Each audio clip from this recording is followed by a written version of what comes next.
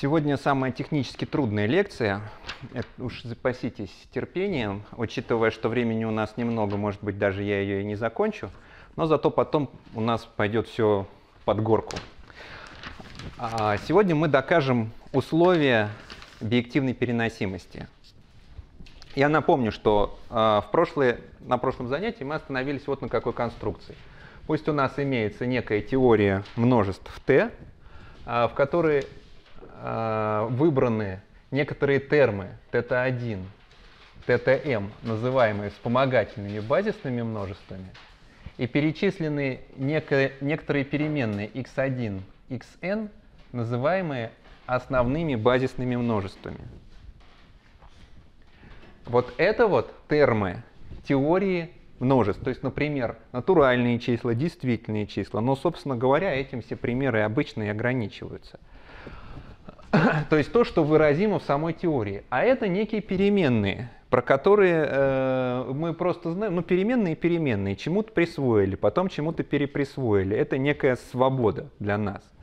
А в моделях наших мы потом переменным э, будем сопоставлять некоторые множества из реальной жизни. Там множество людей, множество отделов, множество деталей в спецификации, э, там, э, сборочной спецификации – это в структурных моделях, понимаете, основные базисные множества.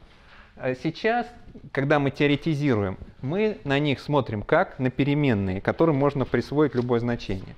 Значит, дальше у нас есть схема S, у нас есть соотношение вида D принадлежит схеме S от x1, xn, θ1, θm. Соотношение, которое мы обозначаем буквой T, и называем соотношением типизации, а d называем родовой константой. И у нас имеется вот такой набор.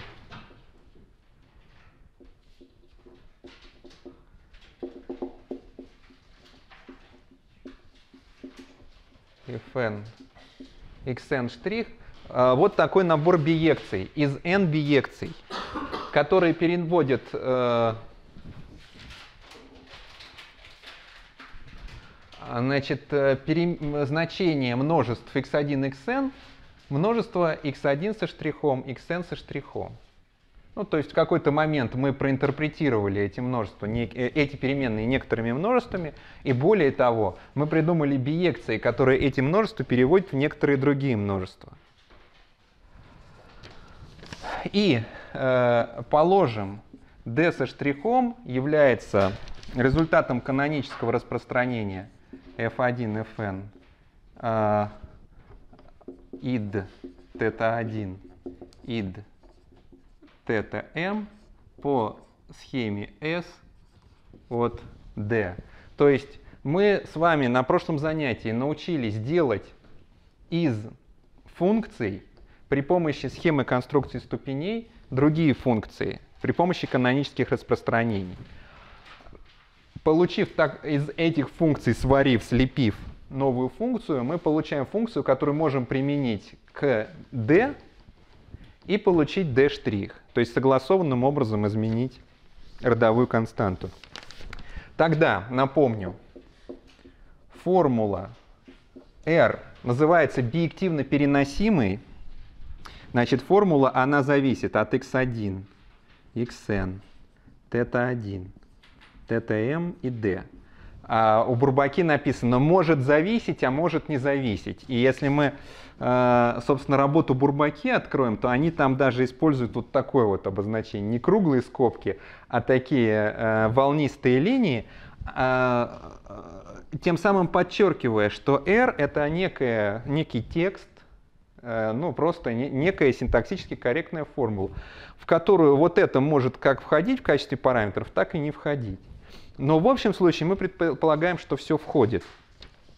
Так вот, эта формула, она называется биективно переносимой при э, соотношении f. Вот эту вот конструкцию мы обозначаем буквой f. На самом деле ее можно записать как конъюнкцию из утверждений про то, что f и все f и являются биекциями из x и в x и со штрихом. А, значит, э, если э, справедлива следующая импликация. в теории Т из соотношения типизации и соотношения переноса следует, что R от x d тогда и только тогда, когда R от x со штрихами, d со штрихом.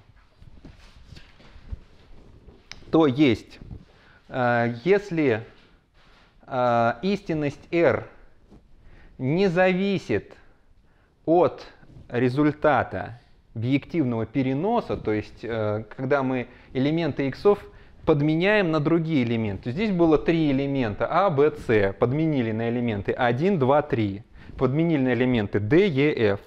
Значит, э, изменили согласованным образом родовую константу, то есть здесь входил, допустим, 1 в соотношении с элементом 2. А, значит, подменили 1 на А, 2 на Б, и теперь у нас А входит в отношение с Б. Это вот согласованным образом изменили родовую константу, и истинность не изменилась. Вот. Такие э, соотношения называются объективно переносимыми. Объективно переносимый терм – это терм, э, значит, который, в котором э, два условия. Во-первых, в теории множеств t выводимо из соотношения типизации – что к си принадлежит а, некой ступени S к си. А, и второе условие, что в теории из T и F выводится, что к си от x1 штрих d штрих равняется, ну, вот так вот, по схеме S к си от кси э, без э, штрих, от переменных без штрихов. Вот если какой-то терм кси удовлетворяет вот этим двум условиям, тогда мы терм называем биективно переносимым. Обратите внимание, что сначала мы от терма требуем, чтобы он был типизирован, то есть чтобы он имел некую структуру. А, Во-вторых, мы от терма требуем, что если мы в этом терме заменим не штрихованные переменные множества на штрихованные множества, то тогда его значение преобразуется согласованным образом. То есть возьмем э, наши вот эти вот э, биекции, построим из них биекцию при помощи канонического распространения на ступень, применим ее натравим ее на нештрихованную э, терм и получим штрих, э, значит, терм от штрихованных значений.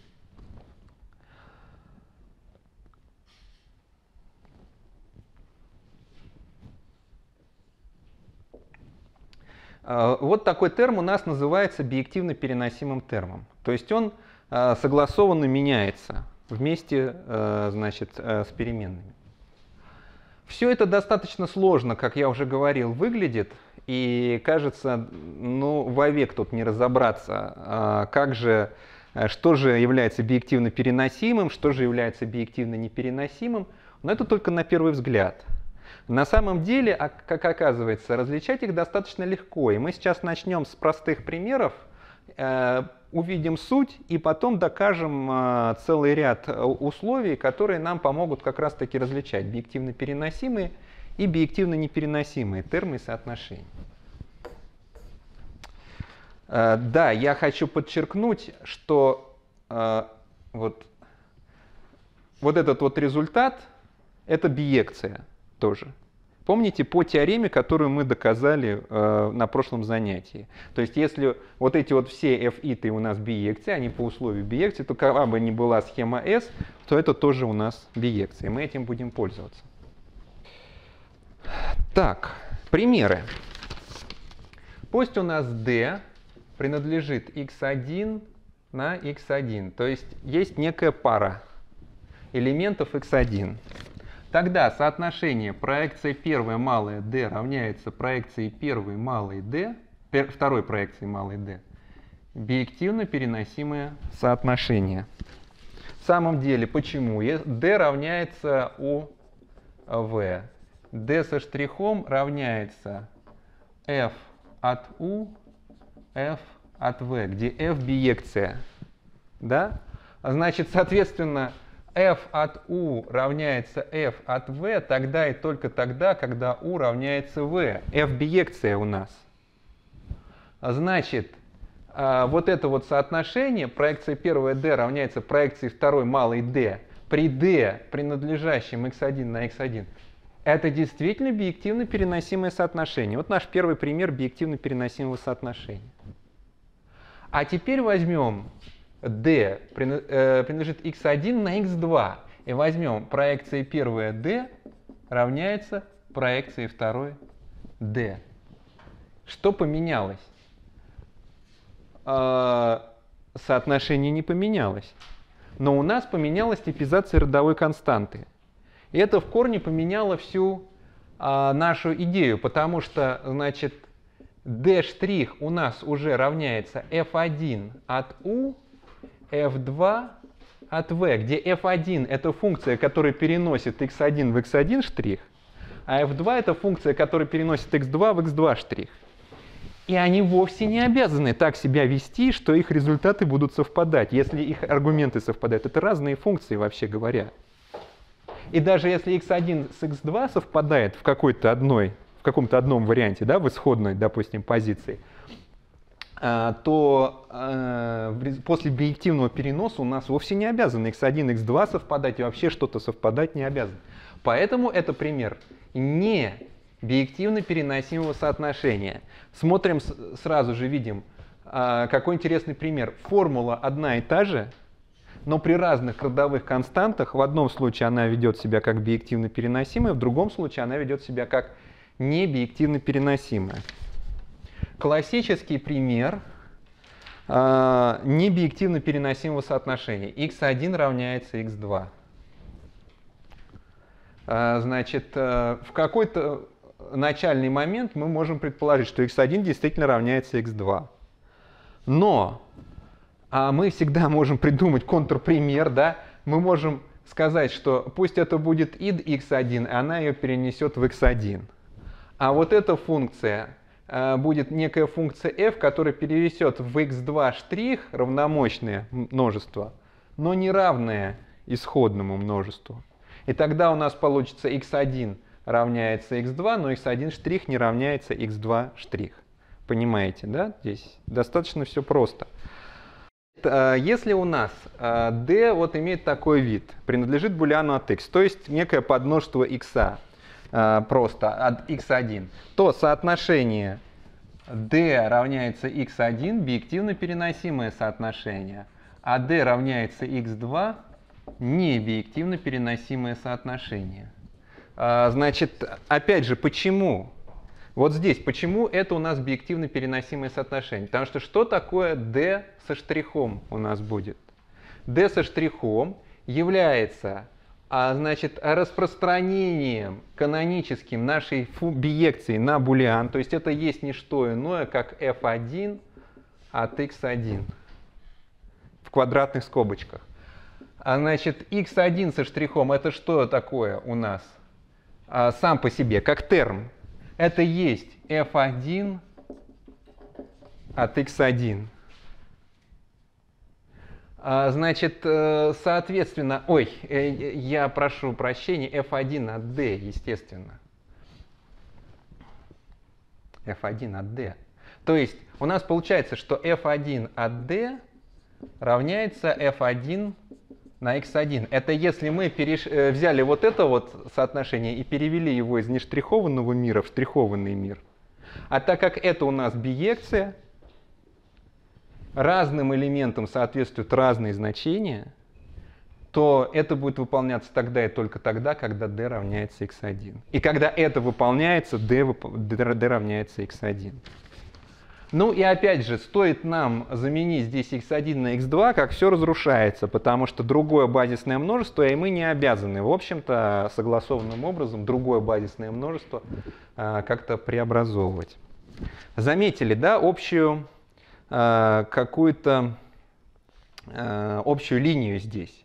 Если мы находимся как будто в пределах одного базисного множества, или, скажем так, если мы не залезаем в свойства элементов базисного множества, то все окей, получается объективно переносимым. То есть если наши э, терм, если, ну мы пока термов не рассматривали, только соотношения, да, э, используют свойства только заданные самой типизацией, то получается объективно переносимо. Как только мы выходим за эти рамки, у нас объективная переносимость нарушается. Значит, э, терм x1 суммы x2 не является объективно переносимым термом.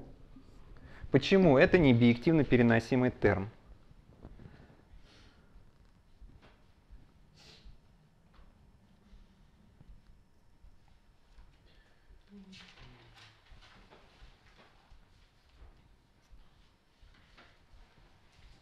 Но объективно переносимый терм удовлетворяет нас двум условиям. Да? Первое условие, он должен быть типизированным, и второе, он должен э, значит, согласованным образом меняться при э, изменении э, множеств. Значит, а что мы можем сказать про типизацию вот этого терма? Она есть вообще? Мы можем придумать такую ступень такую суперпозицию булианов и декартовых произведений над x1 и x2, что она будет равна сумме x1 и x2. Э, вернее, что сумма x1 и x2 будет его элементом, да, ну, допустим, да, то есть мы можем сказать, что x1 сумма x2 принадлежит, и здесь какая-то суперпозиция булианов и декартовых произведений. Ну нет, очевидным образом нет. Это может доказать, вообще говоря, это утверждение даже, ну, оно требует доказательства, но Несложно его доказать индукцией по построению ступеней. Сколько бы мы тут булианов не навертели и декартовых произведений, суммы мы тут не получим. Поэтому вот этот терм не является объективно переносимым термом просто в силу того, что он не типизирован, у него нет типизации.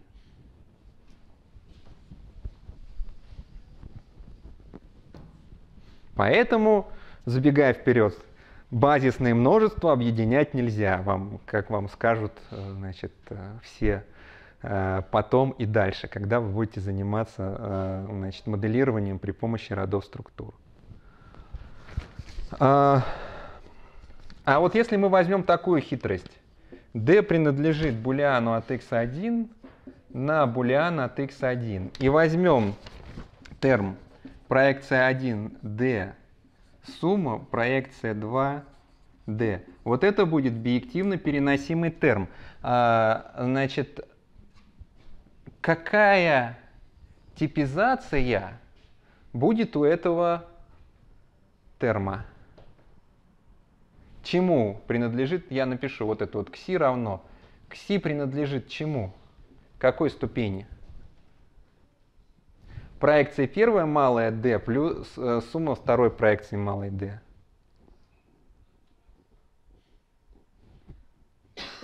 А?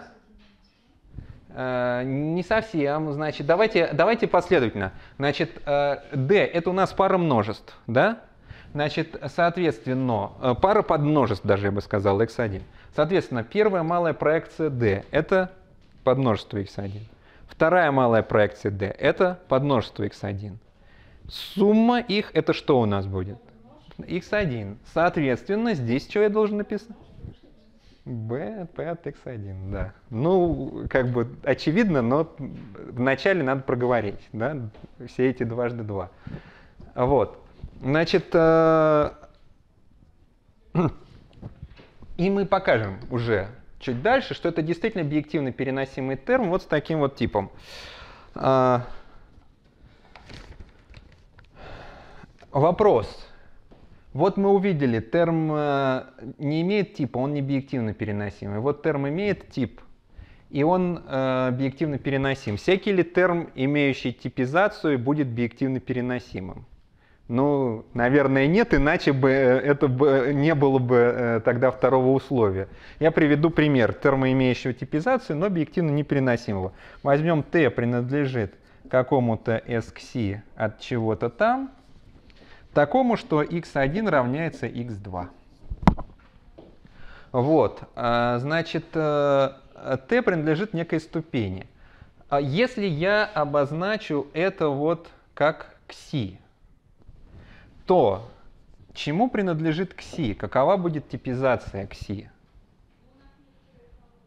Т бежит по элементам этой ступени, здесь э, пока не будем заморачиваться. Да, здесь некое условие А от Т рассмотрим. Да, то, что справа от палки, А от Т. То есть Т бежит по некоторым элементам этой ступени, и в зависимости от того, А от Т истинно или ложно, значит, мы, соответственно, попадает в результат, либо не попадает. Соответственно, что у нас на выходе получается? частично ступень, то есть подмножество этой ступени. То есть это будет элемент булиана этой ступени. Видите? Значит, сразу запомним, э, ну, мы к этому много раз вернемся, но это первый раз, когда мы обращаем внимание. Если у нас терм вот такого вот вида, значит, t принадлежит какой-то ступени такой, что, а дальше не важно, то э, этот терм будет иметь типизацию на один булиан выше, чем вот это. Потому что это, по сути дела, выделение некого подмножества ступени. А подмножество ступени, когда это все равно, что элемент булиана вот от этой ступени. Видите? А, значит, э, ну а теперь вернемся вот к этому. Вот здесь у нас не биективно переносимое соотношение. Соответственно, а, тут вообще два варианта возможны. Либо x1 равно x2, и тогда мы имеем терм равный всей ступени, а, либо x1 а, не равно x2, и тогда терм у нас является пустым множеством. Но мы знаем, что мы можем сделать так, что в какой-то момент терм будет пустым множеством, а в какой-то момент, если x1 с x2 э, совпали, значит, он будет не пустым множеством. А, и, соответственно, э, это уже будет объективно непереносимый терм. То есть вот пример терма, имеющего типизацию, но не являющегося объективно переносимым.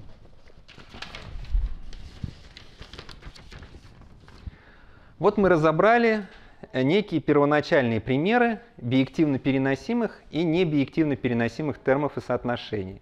Когда мы стали разбирать примеры, мы видим, что на самом деле все не так уж и страшно, и, по крайней мере, э, к этому зверю можно как-то подойти и начать э, что-то с ним делать, приручать его. Сейчас мы его приручим полностью. Для этого мы э, для начала сделаем несколько вообще элементарных наблюдений. Во-первых, если в R не содержится x1, xn, d, то R биективно переносимое соотношение. В самом деле, если R это соотношение вида 2 плюс 2 равно 4, где 2, 2 и 4 это э, элементы вспомогательного множества омега, выводимого как терм в теории множеств, а, значит, э, плюс э, и равно это у нас э, соотношения арифметические, которые мы получили там при помощи индукции, рекурсии. Вот.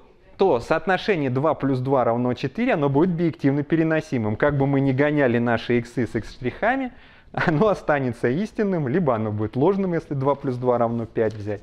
Вот. Это объективно переносимые соотношения. Но э, наблюдение пока не бог весть какой ценности. Значит, следующее. Терм пустое множество есть биективно переносимый терм. А, причем с типизацией пустое множество принадлежит булиан S а, штрих от чего-то там, где S' штрих произвольная ступень. То есть не просто пустое множество есть объективно переносимый терм.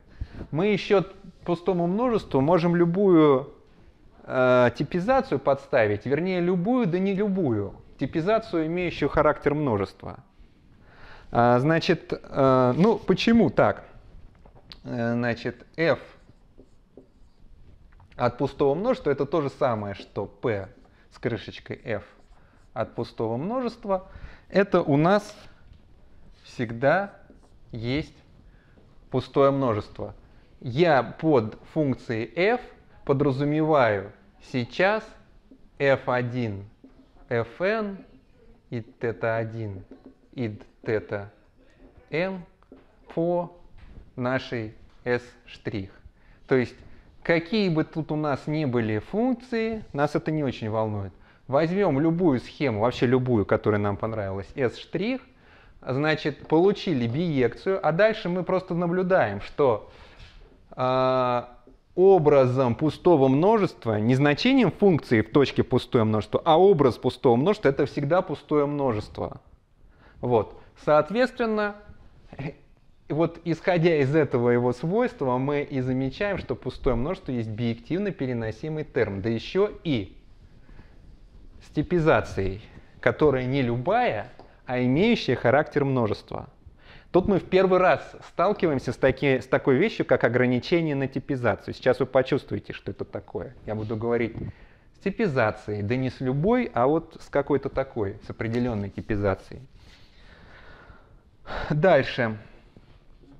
X и t биективно переносимые термы, θ и t биективно переносимый терм и d биективно переносимый терм с типизацией.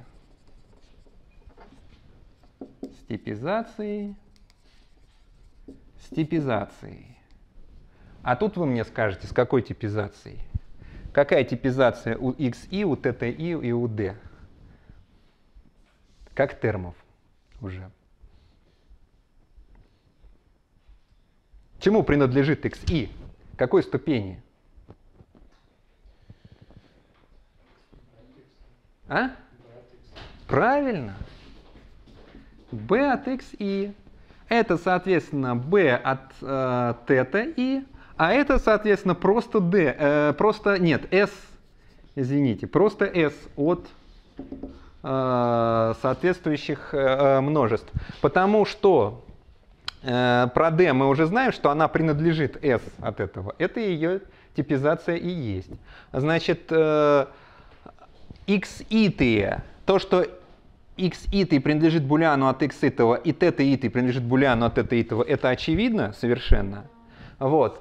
А дальше по самому определению переноса получается, что а, значит x итый у нас переносится при помощи функции, соответственно, он э, переходит как бы, ну, не знаю как, в f итую от x итого. Вот это вот образ, ну вот, x итый со штрихом получается.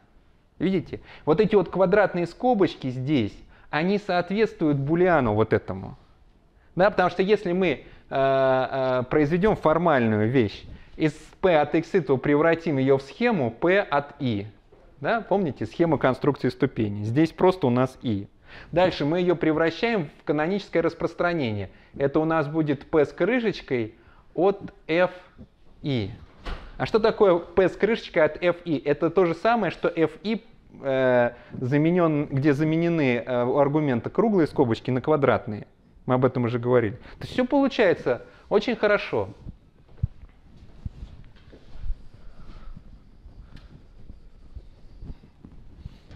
xi-ты, tt-и-ты и devs, основные вспомогательные множества и родовая константа, это биективно переносимые термы. А, значит, и еще одно наблюдение.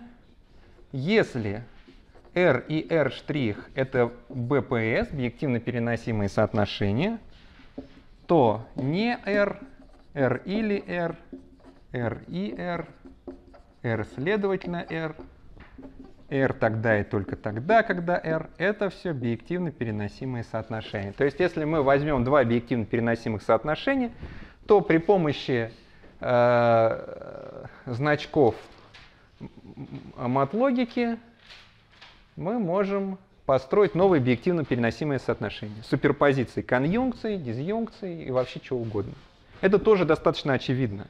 Ну, потому что и R, и R', их э, э, истинность не зависит относительно переноса.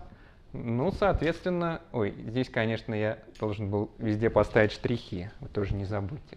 Да, соответственно, истинность вот этих вот э, штучек, она тоже будет не зависеть от переноса.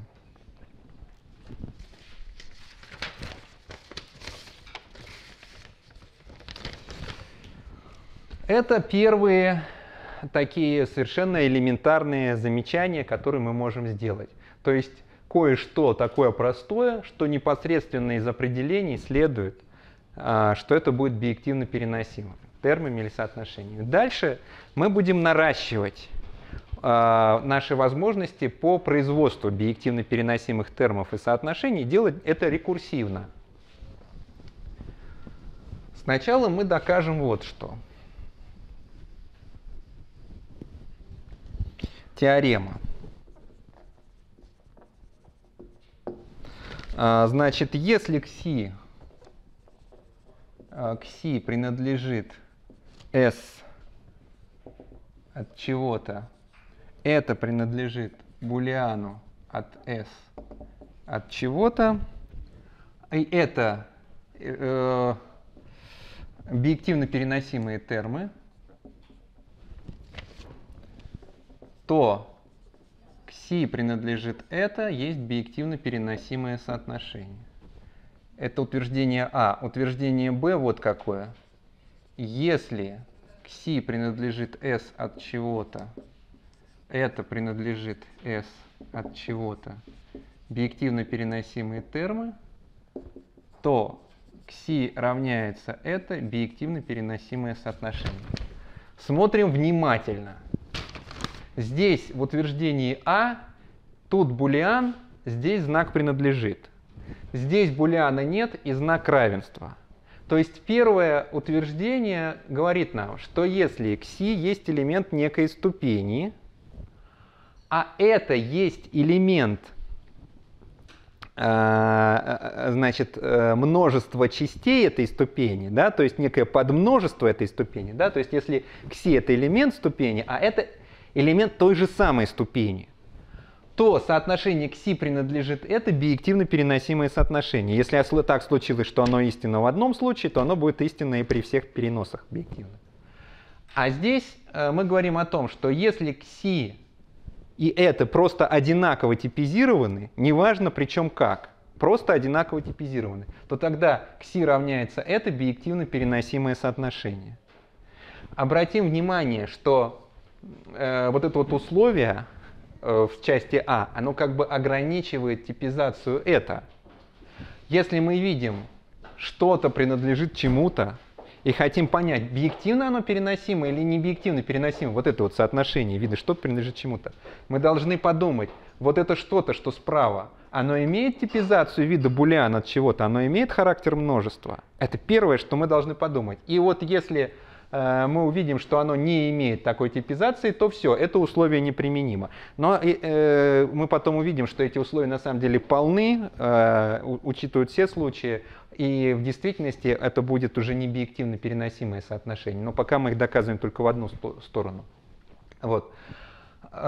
Если мы видим знак равенства, то мы должны посмотреть, типизация слева и типизация справа совпадает – если совпадает, то тогда мы э, можем говорить о том, что это объективно переносимые соотношения. Да, но, конечно, это должны быть объективно переносимые термы, безусловно.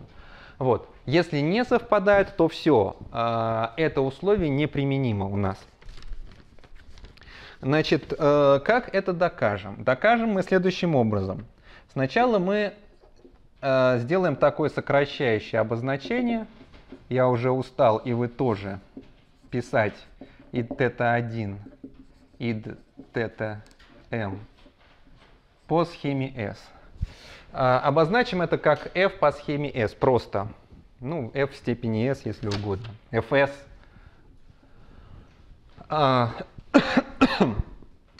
просто потому что писать вот это вот все каждый раз чересчур утомительно.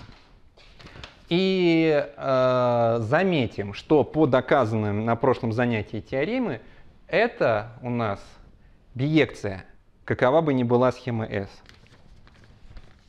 Ну, а раз это биекция,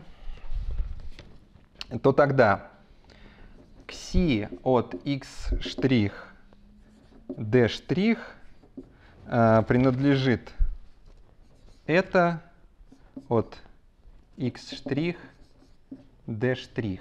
Что это за соотношение такое? мы взяли и подменили не штрихованные переменные на штрихованные. Но мы знаем, что так как си и это у нас э, биективно переносимые, э, э, биективно переносимые термы, то тогда это у нас будет что? Это у нас будет f по схеме s от xi от x d. Я напишу здесь явно не штрихованные. А это у нас будет f по схеме s, внимание, квадратные скобочки. От это, от x не штрихованного, d не штрихованного. Видите? Значит, э, так как это у нас имеет э, типизацию вот на булиан выше, то тогда и каноническое распространение должно быть на булиан выше.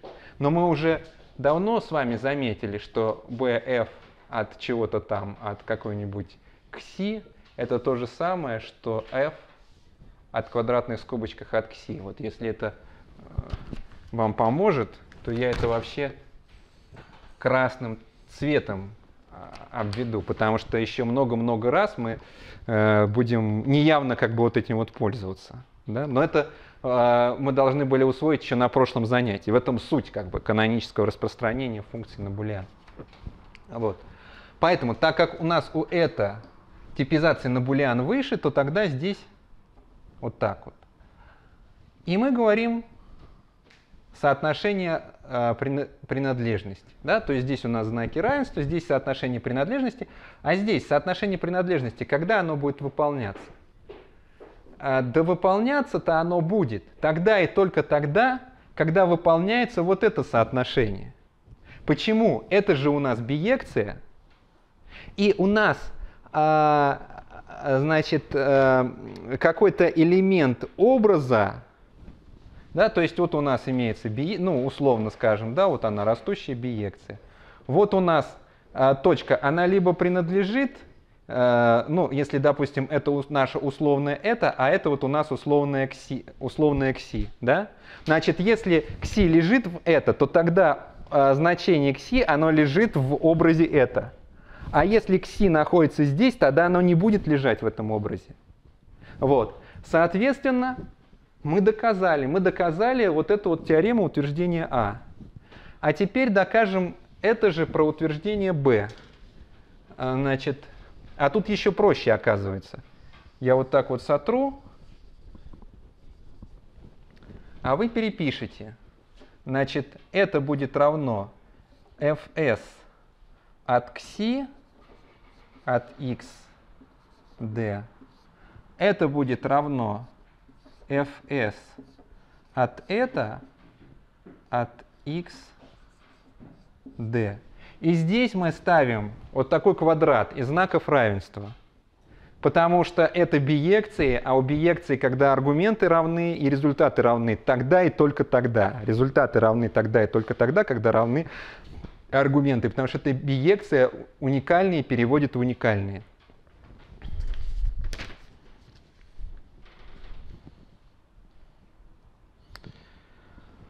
Так, а, теорема доказана.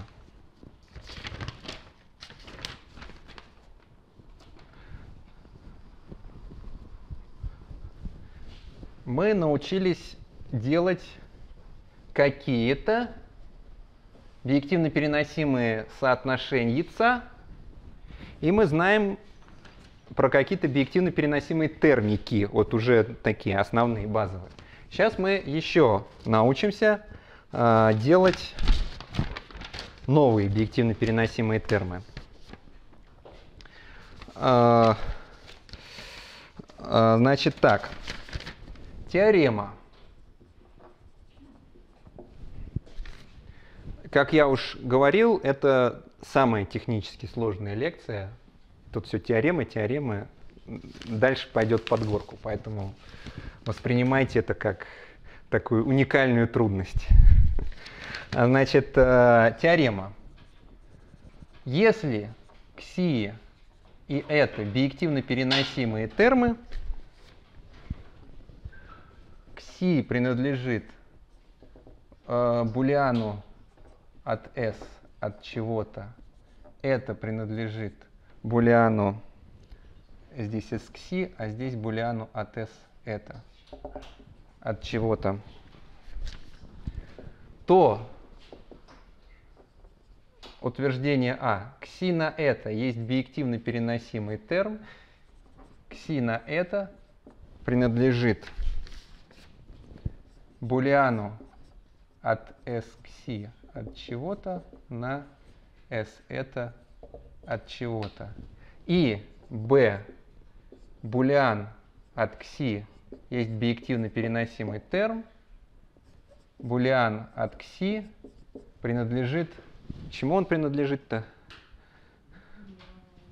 Булиану, булиана, s э, кси от чего-то там. Значит, э, смотрите. Повнимательнее, пожалуйста. Значит, э, э, смотрите, если у нас имеется два терма объективно переносимых, оба, что важно, имеют характер множества. То есть здесь мы требуем от термов, чтобы они были не просто такие любые, а чтобы они имели характер множества. Кси имел характер множества, и это имело характер множества. То тогда мы можем их либо Декартово перемножить и получить объективно переносимый терм, а, и а, его типизация будет выглядеть вот таким вот образом. А, как подмножество Декартова произведения, вот здесь вот. Или э, мы можем булианизировать, то есть взять множество и взять множество всех его частей. Обратите внимание здесь вот на какой тонкий момент. Вот пример возьмем. x1 и x2 как термы они имеют какие типы? x1 принадлежит булиану от x1, x2 принадлежит булиану от x2. А чему принадлежит x1 Декартова помножить на x2? Это принадлежит булиану от x1 Декартова помножить на x2. Здесь у нас как бы типизация рассматривается, да, понимаете? То есть мы должны э, если это все обращать в какие-то операции над э, э, схемами конструкции ступени, а мы к этому придем через некоторое время, то мы как бы должны снять здесь по булианчику, перемножить и навесить булиан опять. Вот. Э, хотя на, самом деле это, это достаточно очевидно, когда это начинаешь пере, переписывать.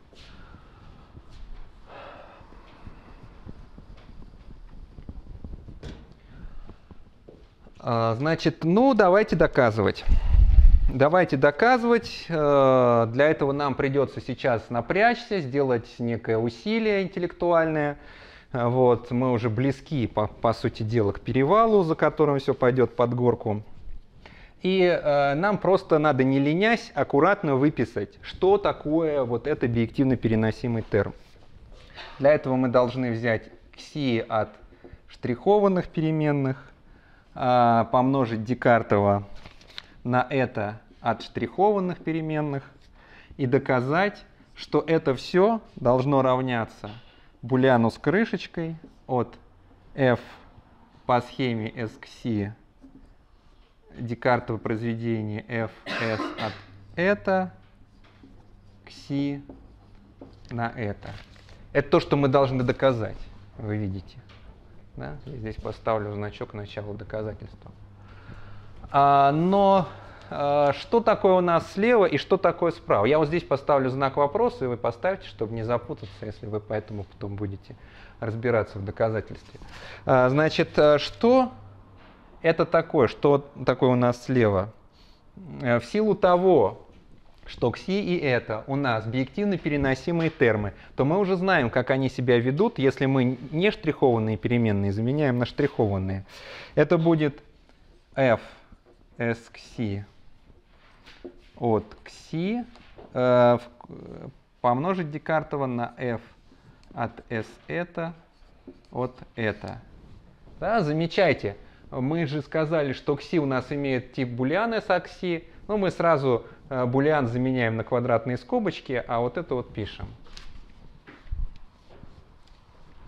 Э, соответственно, это у нас будет f s от кси Декартова помножить на f s от это, квадратные скобочки кси на это.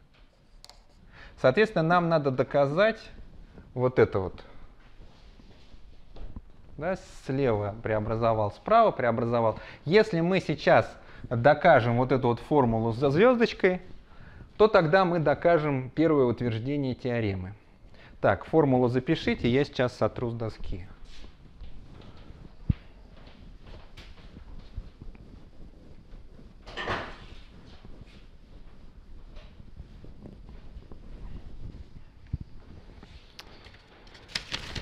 Mm-hmm.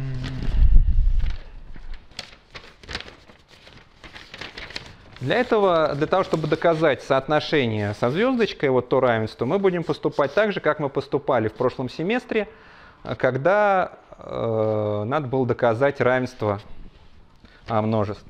Рассмотрим элемент t, принадлежащий f s к c от кси на Декартова f s это от это. Будем раскручивать, раскручивать и докрутим до того, что нам нужно. Это значит, существует U, существует V, U принадлежит F, S к от кси и V принадлежит а, значит F, S это от это и t равняется uv. Это то же самое, что... Ну, сейчас мы просто написали эквивалентность. Здесь, я думаю, понятно. Мы э, раскрываем э, э, Декартово произведение. Дальше. Начинаем раскрывать квадратные скобочки. Делаем это следующим образом. Существует z. z принадлежит кси и f s кси от z равняется u.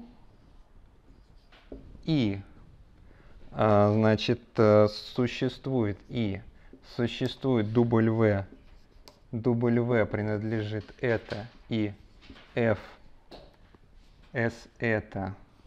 От дубль v равняется v так, и последний член t равняется u запятая v. Фу. А, значит, теперь вот эту некрасивую конструкцию мы будем сокращать, выбрасывая лишние э, переменные. Значит, э, существует z, существует дубль v.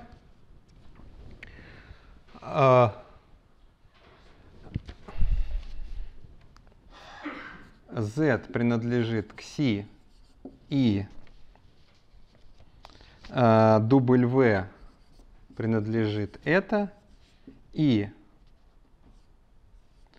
f s к си от z f s это от v равняется t. Мы сейчас просто избавились от u и v.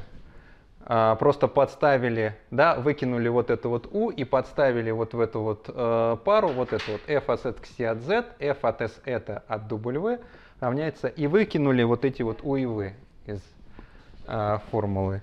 Значит, это у нас есть то же самое, что существует z, существует w, z принадлежит к си, и w принадлежит это, и t принадлежит мы уже почти близки.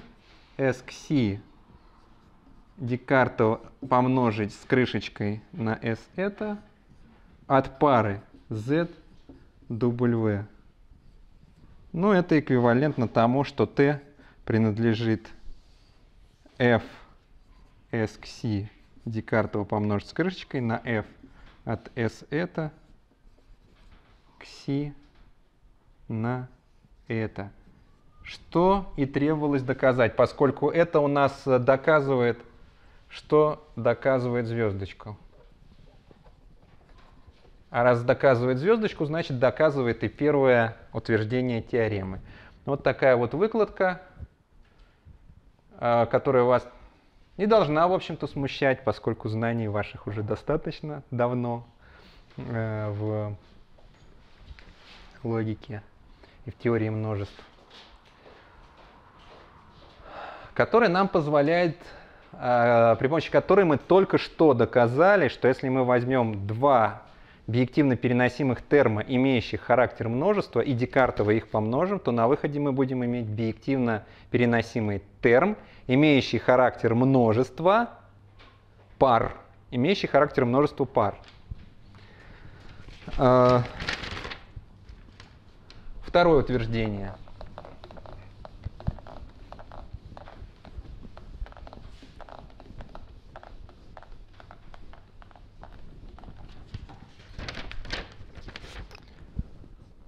Значит, э, э, вы, наверное, уже забыли, значит, но второе утверждение было про булиан. Если мы возьмем биективно переносимый терм, имеющий характер множества, то булиан от него тоже будет биективно переносимым термом. Булиан от кси, от x1 и так далее равняется. Здесь мы просто можем расписать. Есть булиан от f s кси в квадратных скобочках от кси Значит, это у нас есть, я просто пишу по определению, t является подмножеством f s кси в квадратных скобочках от кси. Значит, это есть у нас вот что. t таких, что существует у у подмножества кси и t равняется f s кси от U. Так, фигурная скобка закрывается. А, значит, а, что это у нас за шаг такой? Значит, здесь этот шаг понятен. Это по а, определению булиана. Значит, здесь у нас, здесь мы говорим, что множество t, являющихся под множествами образов кси. А, значит, а тут мы говорим, окей, чтобы у нас получить э, некое подмножество образа кси, э, возьмем некое, под, э, некое подмножество его прообразов, да, ну, некое подмножество кси, возьмем его образ, и мы получим подмножество множества кси. Поскольку это у нас биекция, то э, для каждого образа мы можем найти соответствующий прообраз. Э, так, так. Так, а, значит, это у нас получается t таких, что существует u, u принадлежит булиану от кси, и а, t равняется p с крышечкой f от s кси от u. Уже мы квадратные скобочки заменяем на круглые, но слева пишем p с крышечкой. А, так, две скобки и фигурная. Это у нас то же самое, что P с крышечкой F от S к C от фигурные скобки P от кси. Это то же самое, что 2 P с крышечкой F S к C от P от кси. Что требовалось доказать? А, значит, э, я пишу здесь кси, подразумевая кси от нештрихованных переменных. Да, то есть здесь кси от штрихованных переменных, а здесь кси от нештрихованных переменных. То есть возьмем булиан от этой кси со штрихами, и получить мы его можем, если мы возьмем кси без штрихов, а, значит, возьмем от него булиан и преобразуем при помощи двойного булиана fxc. То есть э, как бы преобразуем, используя вот, вот такое вот э, преобразование. Что нам и говорит, собственно, о том, что результат будет типизирован как двойной булиан. Фух. Что и требовалось доказать. А, значит, э, теперь из того, что уже доказано, э, смотрите, какие мы знаем биективно переносимые термы. Все основные вспомогательные множества, основные базисные множества и вспомогательные базисные множества у нас биективно переносимые. Дальше. Мы знаем, что Декартово произведение биективно переносимо и булиан биективно переносим. Да? Соответственно, сразу же из этого следует, что любая ступень является биективно переносимым. То есть любая ступень, любой терм любой терм вида s, ну не знаю, штрих какой-то от x1 и так далее, объективно переносимый терм а с типом, естественно, булиан s' от чего-то. То есть вот э, вот что у нас получается. Ну окей, осталось теперь придумать, как все это дело применить для того, чтобы получать какие-то нетривиальные, нужные нам, э, объективно переносимые термы и соотношения. И мы от этого э, дела находимся уже в одном шаге.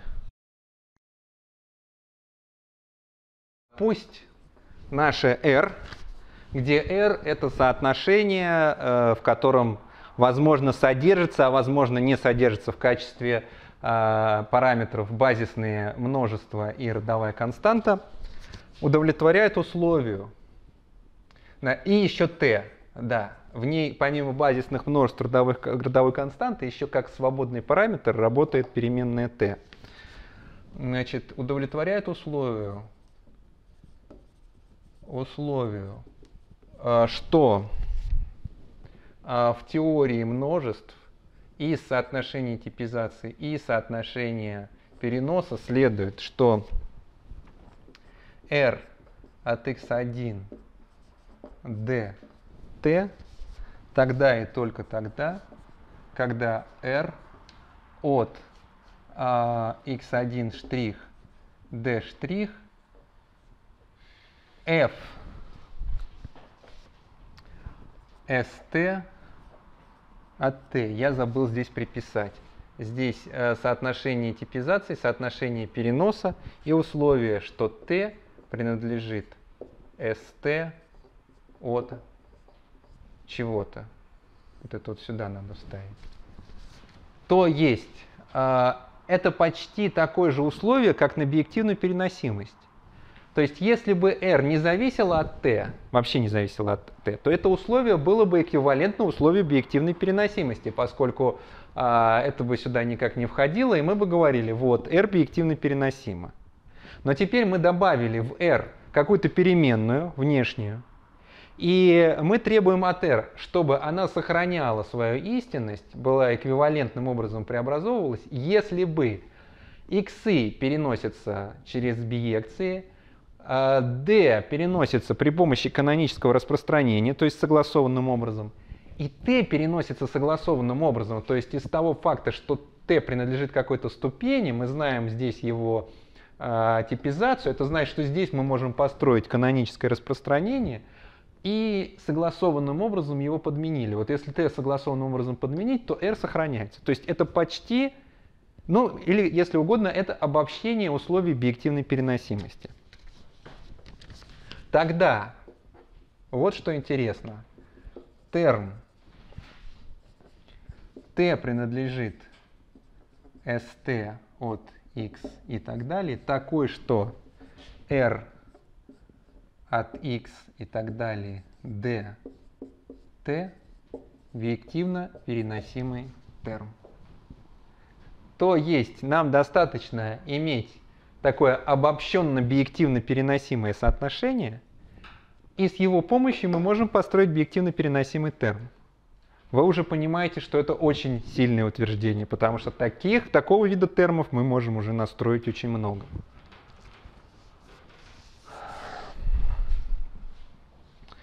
А, значит, а, ну, а, что нам надо доказать? Нам надо, да, вопрос. Объективно переносимый терм, какая у него будет типизация у такого терма? Коли он будет объективно переносимым, какая у него должна быть типизация? P от ST, правильно. То есть вот этот кси, я напишу кси принадлежит булиану от ST от чего-то там. Да. А, значит, а, нам надо доказать, что t принадлежит st от x1 штрихованный. Такой, что r от x1 штрихованный. T равняется, равняется f st квадратные скобки, потому что здесь булиан, мы берем и булиан заменяем на квадратные скобки – значит, э, Т принадлежит СТ. Сейчас. А, здесь без штрихов x1 и так далее. И здесь у нас R без штрихов от T. xt. Закрываем фигурную скобку, закрываем квадратную скобку. Это то, что нам нужно доказать. А, значит, э, как мы будем действовать? Опять же, как и всегда, э, прямолинейно. Значит, э, заметим вот какую конструкцию. Что такое у нас будет перенос этого терма? Значит, представим себе вот такое вот множество st. Это ступень наша от st не штрихованная. st от x и так далее. И представим себе ступень st от x штрихованный и так далее. А, значит, э, вот наш кси. Здесь он находится. А, значит, э, что такое кси? Кси — это набор элементов этого множества такой, что r выполняется. Да? А, значит, а что такое будет а, кси со штрихом? Каждый элементик из этого множества, он взаимооднозначно связан с элементиком отсюда. Соответственно, а, в кси со штрихом попадут те элементы, чьи прообразы попадают в КСИ. Вот. То есть вот у нас ограниченное выделение. И мы можем, мы можем записать, что f st t принадлежит st x1 такой, что r от x1 t, так, фигурная квадратная скобочка, это у нас множество t принадлежит f st э, st сейчас от x1 сейчас я напишу потом потом разберу. Значит, r от x1 xn. И здесь у нас fst в минус первой степени от t. Скобка закрывается. Значит, что у меня здесь а, а, справа записано? Значит, если мы хотим перенести из, из нештрихованного мира в штрихованный мир, значит, нам надо применить, либо заменить здесь э, э, переменные, значит, э, x-иты, применить вот это вот распространение каноническое. Но, как мы знаем из предыдущей теоремы, с трудом доказанной, это есть не что иное, как вот это вот. То есть мы получаем здесь действительно элементы э, этой ступени. А здесь мы говорим в силу свойств R, а, значит, мы можем а, бежать а, значит, по Здесь штрихованные или не штрихованные переменные, это не так уж важно, потому что r не зависит. Мы можем все штрихованные поставить, а можем не штрихованные, просто в силу свойств r. А вот вместо t мы подбираем такие r, чей, чей прообраз вот отсюда, вот сюда, здесь будет Э, попадать. Ну и в результате, в результате, так как бы так стереть, чтобы получилось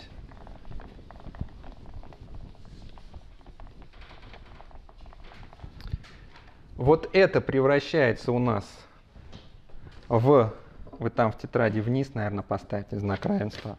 Значит, это у нас превращается в st x1 со штрихами, xn со штрихами.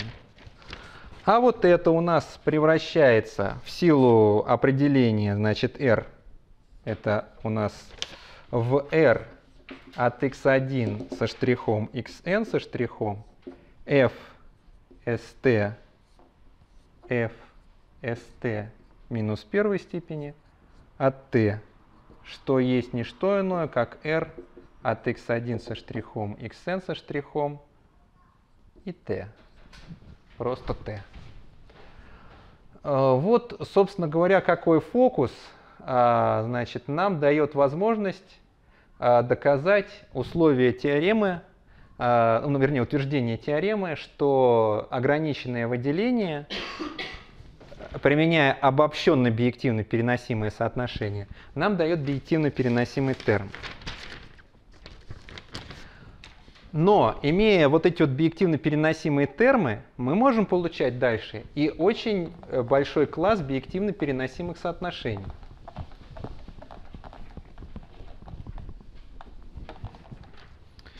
А, значит, еще одна теорема. Их будет еще три но две гораздо более простыми. И это очень простая. То есть самые сложные мы уже точно доказали. А, значит, э, пусть R удовлетворяет условию предыдущей теоремы. Условию обобщенной биективной переносимости. Обобщенной биективной переносимости. Тогда соотношение существует T, T принадлежит ST пишу многоточие, и R есть биективно переносимое соотношение. Соотношение для любого t, t принадлежит st и так далее. Следовательно, R это есть биективно переносимое соотношение. Значит, а что это здесь написано? Почему здесь существует, а здесь конъюнкция, а здесь для любого, а здесь импликация? А это есть не что иное, как наши ограниченные кванторы. Это то же самое можем написать t принадлежит st, такой, что r. Или для любого t, принадлежащего st, такой, что r. Заметьте это. Никогда не путайте. Если вы еще до сих пор когда-то путали, вот этот тут момент, да, когда написана вот такая вот формула, это то же самое, как если бы мы написали такую формулу. Существует t, t принадлежит st и r. Когда написана вот такая формула, это значит для любого t, t принадлежит st, следовательно r. То есть здесь существует t из st хотя бы один такой, что r, то есть одновременно удовлетворяется t принадлежит st и r. А здесь для любого t из st, то есть t, если попадает в st, то тогда r. Если t не попадает в st, нас не интересует. Может быть r, может быть не r, и поэтому здесь импликация. Я э, еще раз проедусь тут вам э, по мозгам этим катком, чтобы вы это запомнили. И э, благодаря такому, э, такому определению у нас работают законы Де Моргана, потому что мы можем сказать, что не существует э, t, принадлежащий st, r, это то же самое, что для любого а, для любого t, простите, принадлежащему st, не r. И это можно доказать. Вот это вот соотношение или не для любого t, принадлежащему st. r тогда и только тогда, когда существует t, принадлежащий st, не r. Вот эта вот штука, она выполняется э, только благодаря тому, вот эти законы Де Моргана, я сейчас не буду их доказывать, да, но они работают только благодаря тому, что здесь конъюнкция, а здесь импликация. Поэтому запомните себе раз и навсегда, запомните законы Де Моргана, а, запомните, что это все не случайно, а как бы фундаментально, и просто больше никогда не путайтесь. И всегда знайте, когда пишут ограниченные вот кванторы, что имеют в виду вот здесь конъюнкцию, а здесь импликацию. И ничто иное, никаких двух конъюнкций, никакую конъюнкцию и дизъюнкцию, вот э, как бы вот этого вот этой вот э, неграмотной путаницы, чтобы у нас не было в нашем коллективе больше никогда. Вот. Значит, э,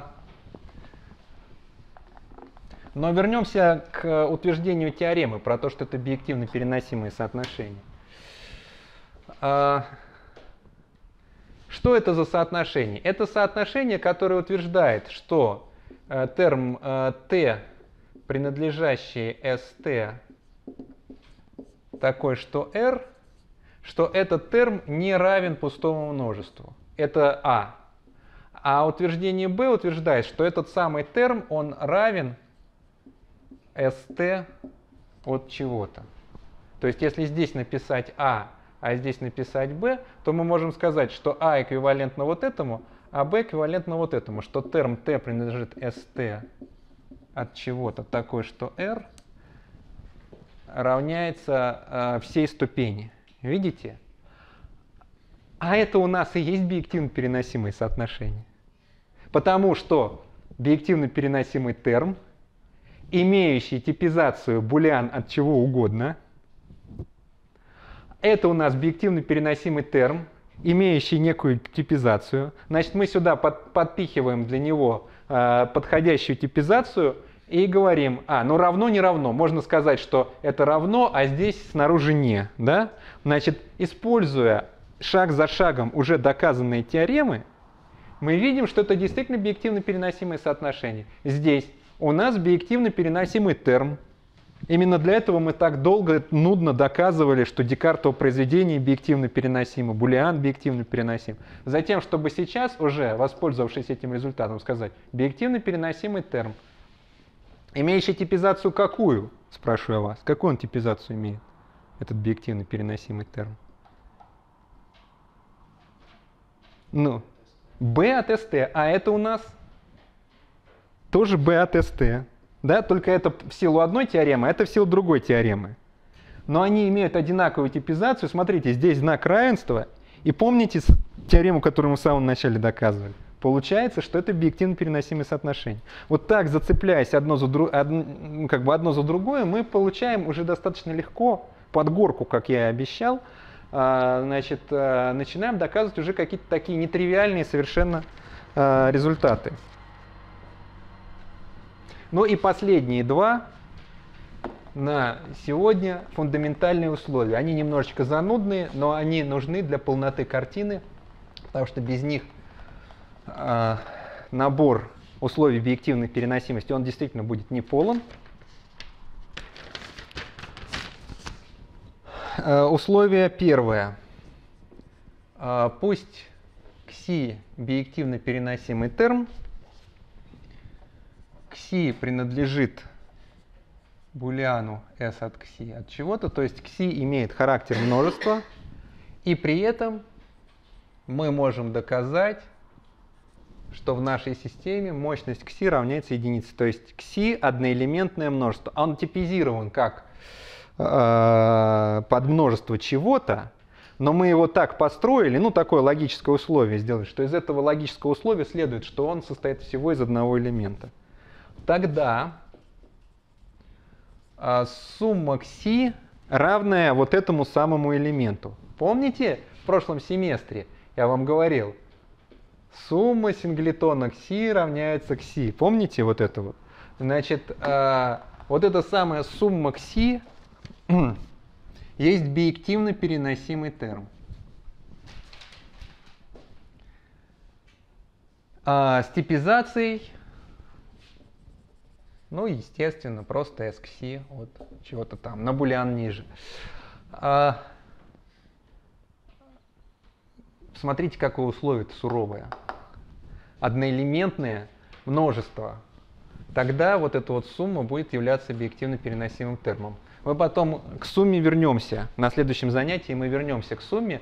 Но сейчас это вот такой вот частный случай, частное условие. ну, поехали сумма кси от x1 штрих d штрих равняется u такое, что существует t, t принадлежит f s кси от кси и u принадлежит t равняется u существует t существует v v принадлежит к си и э, t равняется f s кси от v, заменили круглые, э, квадратные на круглые скобочки, и u принадлежит t. Равняется, равняется. v принадлежит к си, это есть v равняется сумме к си. В силу условия на кси. И поэтому множество u таких, что существует t, t равняется f s к си, я тут неаккуратно пишу, f s к си, а, значит, от суммы к си и u равняется t, и избавляемся от э, переменной t, равняется u таких, что u принадлежит f s к si от суммы к si. Это мы от переменной t избавились. Но это есть не что иное, как просто f s к si от суммы к si уже по определению самого множества. Вот э, такое еще нетривиальное условие, которое нам потребуется в дальнейшем.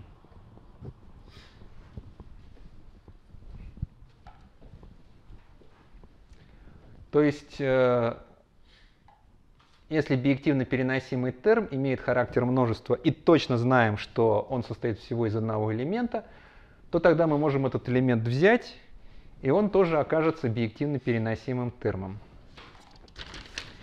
И напоследок,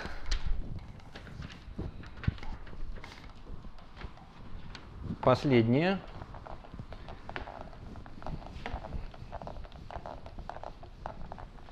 Последнее утверждение. Значит, пусть кси принадлежит S1 от чего-то на S2 от чего-то, объективно переносимый терм. То есть э, мы рассмотрели, мы теперь требуем от кси, чтобы она имела характер пары, да, то есть являлась элементом Декартова произведения. То есть кси было парой э, чего-то. Э, тогда проекция первая малая от КСИ, биективно переносимый терм с типом S1, э, а проекция вторая малая от КСИ, биективно переносимый терм с типом S2. Ну, в общем, это уже достаточно очевидно, потому что если у нас КСИ равняется просто паре УВ, то тогда первая проекция, допустим, КСИ от x d со штрихом равняется первой проекции, значит здесь у нас будет пара f s1 от u, f s2 от v равняется f, ой, f s1 от u, это у нас будет f s1 от проекции 1 от кси что и требовалось доказать, аналогичным образом мы доказываем Аналогичным образом мы доказываем ситуацию, когда а, нам нужна вторая малая проекция. Фу, теперь время под солба смахнуть. Значит, э, такая достаточно трудный э, момент, когда надо было выдать, вывалить на вас вот эти вот все, казалось бы, разрозненные, с потолка взятые многочисленные примеры условий объективной переносимости. Но я вам обещаю, что уже на следующем занятии мы наведем э, в этом во всем порядок. То есть сейчас э, вам кажется, ну это в жизни не запомните, вообще непонятно, как, бы, как, как с этим быть, какая-то куча теории. Вот. Но в действительности эта куча теории, она э, подчиняется каким-то таким очень простым принципам, а, который мы с вами увидим. Ну, здесь пример, не знаю, как правило дорожного движения, когда там учатся в автошколе, кажется, что это какой-то набор э, э, каких-то разрозненных, очень сложно укладывающихся в голове вещей. Садишься за руль, едешь, и вдруг понимаешь, что они -то, это не разрозненный набор, они все под, подчиняются одному принципу. И вот эти вот все правила, они тоже подчиняются одному принципу, который мы причешем, уложим в голове и вы не поверите, но опираясь именно на вот эти теоремы, вы научитесь очень быстро различать биективно переносимые термосоотношения от биективно непереносимых, с легкостью записывать биективно переносимые термы и соотношения, а в этом-то, собственно, и заключаться будет задача создания родов структур, родоструктурных моделей, потому что родоструктурные модели это есть не что иное, как биективно переносимые термы и соотношения, записанные на бумаге. Вот, спасибо. На этом сегодня все.